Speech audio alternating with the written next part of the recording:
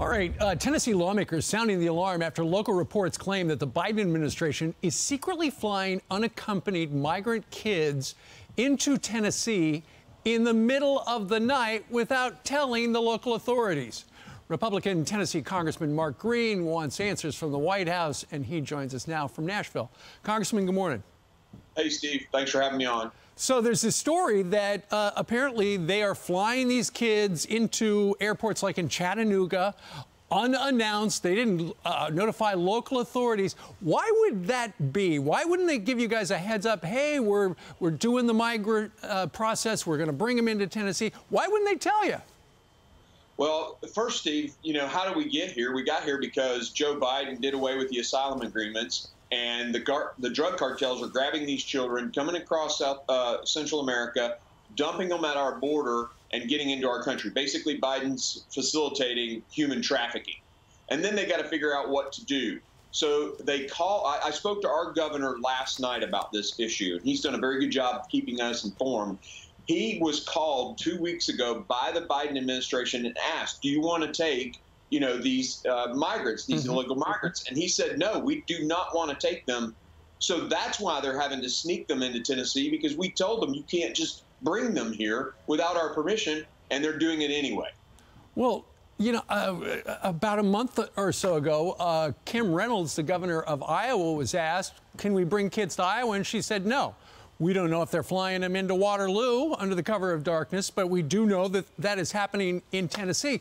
But you would think that the government would ask the state uh, for permission and they would have to be granted it because we know that, you know, thousands of migrants on your doorstep could be a huge financial, uh, you know, could suck a lot of uh, money out of your state coffers.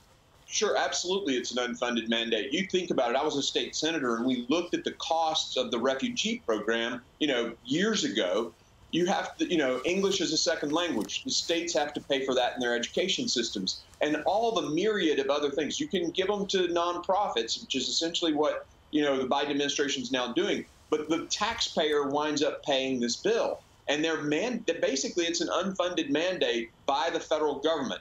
It fits completely, though, with the Joe Biden leftist mentality that all power should reside in Washington, D.C., right. and they can just ignore that 10th Amendment and, and force Tennessee to do this. Well, we've got a statement from the HHS, but they do not address why uh, they, they're flying kids into Tennessee. They say, as part of the unification process, the office is uh, currently facilitating travel for the children in custody to their sponsors to prevent any delays. Contractors use various transportation modes to get them wherever they're yeah. going. But that doesn't say why they're not telling you guys. Meanwhile, let's talk a little bit about this. Uh, if he looks lighter, it's because he's $500 lighter. You got a fine for not wearing a mask on the House floor because Nancy Pelosi, unlike the Senate where you don't have to wear a mask, she says you've got to wear a mask. Although we saw her yesterday, I believe it was, at the White House, and she doesn't have a mask there. Congressman, what is she trying to prove? Because some say she's just trying to rub re Republicans' noses in this because all the Democrats are vaccinated and not all the Republicans are.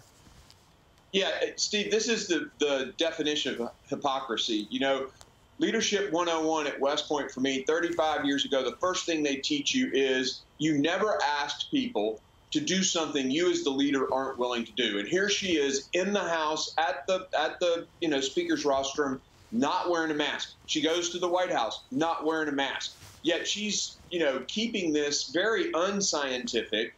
I mean, we all know if you're vaccinated, the CDC came out with this, you don't have to have a mask. But yep. they are forcing it. Even in committee, she, she basically compelled the House physician to change his rule. His knee-jerk response to the CDC was, "Hey, let's let's not wear masks in committee." She came back. He had to retract that and change it. I mean, it's just uh, harassment, basically. So you're saying she pressured the attending physician to change the rules? I, I can't imagine why a physician would come out with one rule there were no studies yeah. in the ensuing four days. You know, I'm speculating why he, as a physician, would change his clinical guidance. Well, don't get caught uh, not wearing a mask again, or it's 2,500 bucks out of your pocket. That's right, Steve. All right, Congressman, we thank you very much for joining us today in Nashville.